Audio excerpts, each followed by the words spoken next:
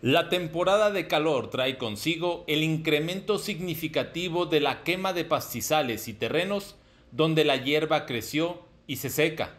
Ello también repercute en el gasto operativo de bomberos, porque cada servicio significa más de 500 pesos y el desgaste elevado del material, pero además la contaminación y el posible riesgo de afectar inmuebles cercanos de ahí el exhorto a la población a evitar estas quemas provocadas por vandalismo o de manera intencional para limpiar los predios, expuso Marco Antonio Villacorral, director de Protección Civil en Celaya.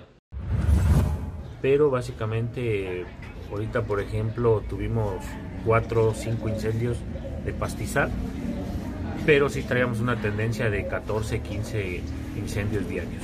El año pasado llevamos una tendencia de 10 a 12 diarios, entonces ahorita incrementó un poquito, más sin embargo ahorita ya con esta lluvecita esperemos que baje un poquito, pero pues no, no, no deja de serlo, ¿no? Es un riesgo.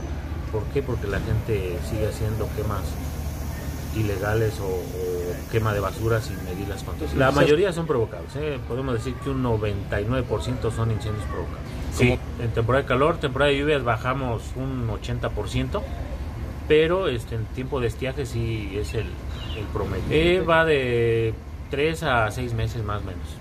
De acuerdo con los datos aportados por Protección Civil, el año pasado, del 2022, se atendieron 1.623 incendios de pastizal, mientras que en los primeros cuatro meses del año 2023 se acumulan 782, de los cuales enero fue con el mayor número de casos con 264, luego marzo que tuvo 211, en febrero se registraron 208 y para abril solamente 89 incendios.